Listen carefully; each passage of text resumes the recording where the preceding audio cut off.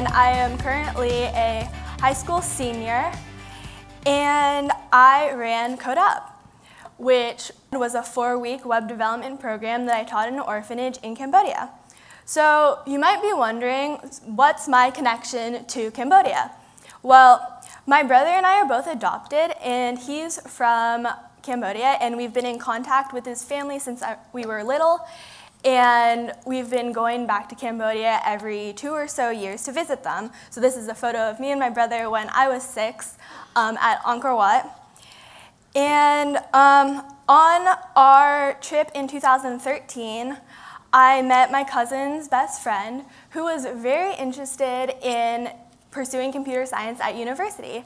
However, she had never had any exposure to it. She didn't really know what computer science was. She had never coded. Um, so I thought, well, these students are really, really smart here. And I've been coding since first grade just because I've had the opportunity to do so, um, being here, having the resources, laptops, computers, things like that. So I thought that, well, there are three key ingredients to learning how to code and being introduced to the tech industry. And those are one, a laptop, two, Wi-Fi, and three, just somebody to introduce you and point you towards the right resources, um, as I've been mostly self-taught myself. Additionally, the Cambodia tech industry is really about to explode. Um, their population is 15.6 million, and the number of registered cell phones is 19 million. So there is a huge demand for um, these types of skills. However, because most people don't have computers, there aren't a lot of people who are able to code. Um, because now with smartphones and tablets, most things that you would normally do on a computer can be done on um, a smartphone. Um, so one of Cambodia's largest industries is the garment production industry, which only recently increased their monthly wage to $80. That's under $1,000 a year. In comparison, a Cambodian web developer can charge $200 or more per website. So if they work on three commissions per month, that's over $7,000 a year, which is huge in comparison. Um, so I came back to the United States following that trip, and I had this idea, well, maybe I could teach them, maybe I could bring them these resources that they need. However, um, I was only a junior in high school. I had never had any formal training in tech. I was completely self-taught. Um, and I just wasn't sure if I could pull it off. It really was a crazy idea. So I wrote to my teacher from a summer tech program and I asked her, do you think this is possible? Is, am I completely insane? Should I wait to do it? I'm not sure. And she said, well, I've been working in tech for 10 years, and I really never know what I'm doing. Um, so all you need to do is try. You don't need to be an expert. Um, so I thought about that, and I thought it was actually really relevant to the tech industry, because if you wait to be an expert at something, the tech industry has already moved on, and like whatever you become an expert in is more or less obsolete. Um, so I thought, well, the worst thing that can happen is that I fail in this program is like a flop and it doesn't work. But the best thing that could happen is that I'd be able to teach a whole new group of students who could go on and teach others in Cambodia how to code as well. So I remembered this quote by my orchestra conductor, and he said, if you're going to fail, at least fail spectacularly. So then I started my Indiegogo campaign. Mm, um, Indiegogo is an online crowdfunding platform. So my time was spent writing pitches, emailing people, um, developing the curriculum, doing all of that organization um, that I had to learn on the fly as I realized that it was not all about your coding skills, but it was really a lot more organization. Um, and, well, I had to choose priorities because I launched my curriculum in May, which was spring of my junior year.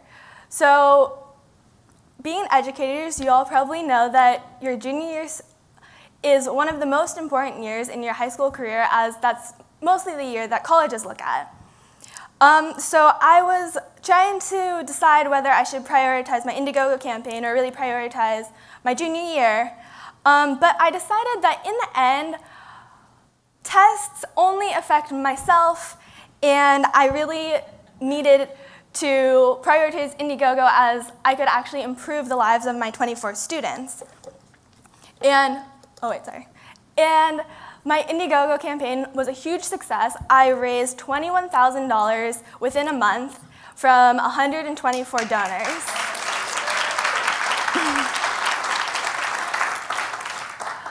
One of the big steps that I had to make was actually designing the curriculum, and I, having never had any formal training, I don't really know how computer science class is taught. However, um, I do know how I learned, and that was very project-based, very experimental, um, reaching out to people within the tech community asking, do you know how to do this? I'm, I'm stuck. And um, so I really modeled the curriculum after that. It was very project-based, the students worked together, um, and then it all culminated in final projects. So the next step was to go to Cambodia and teach. There were a few surprises along the way, though. First of all, I ended up teaching alone, which was slightly terrifying to me, having never had any teaching experience. And um, I had co-teachers lined up, but one after another, they ended up not being able to go. And that was very difficult. Um, additionally, our money got delayed, and we ended up not getting the money until the day before class started. And we had not gotten laptops yet, but it all worked out in the end, and we started on time. Additionally, in my class, the English levels were very varied, so there was definitely a large challenge in overcoming that language barrier, which leads me to my next section. So this is a picture of two of my students and the computer skills teacher at the orphanage who act we actually hired to help translate all of the concepts that they weren't quite getting in English. Um, I had 24 students split into two classes, and I taught six hours a day, six days a week. Um, half were girls and half were boys, and that was something that was very important to me, having been really involved in the like women in tech, women in engineering community, um, because there's a huge gap in the number of women and the number of men that work in this industry. Um, also, my students were between the ages of 15 and 20. And the funniest thing that happened during the class was that it came out that I'm actually only older than one of my students. So that was definitely something that they found very amusing. Um, yeah. The thing that I appreciated the most from my students was that they were really helpful. The tech community, unlike what a lot of people might think about it, is very collaborative. Um, and my students were great about helping each other out. Students from my morning class would come in and help explain concepts to my afternoon class. And um, in between times, they would talk about different concepts that they weren't quite understanding. Um, this process might be familiar to some of you guys. Um, the listen, do, and teach so first, my students would listen to me lecture about whatever we were doing that day. And then second, they would have to experiment themselves with the concept, and then they would have to teach somebody else. And this really helped lock in um, their new knowledge. So this is what our class looked like on a normal day. Um, they were, at this point, they were all working on their final projects, which were um, based off of these client profiles that I gave them.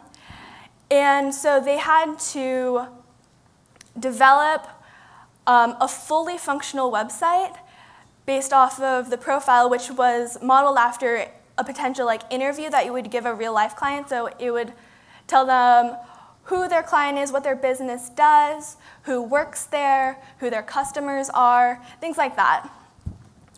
And in the end, they had to present their projects to a live stream of the donors. And I was so proud of my students because by the end, they had all completed their projects. They, um, the websites worked, they designed them themselves, and the best thing about it was that one of my students ended up actually integrating parts of code that I had never taught him. I pointed him towards the resources, but he really learned how to learn by himself, which was one of the key concepts that I wanted to focus on because much of their learning will happen after I leave. Um, I really, my plan was to give them the basics, but really to point them towards the resources that they need to continue learning. So this was our class on our graduation day, um, right after they presented their projects.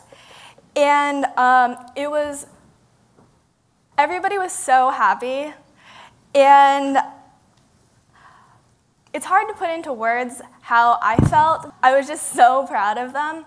But um, now at the orphanage, there is an advanced class that's continuing their learning.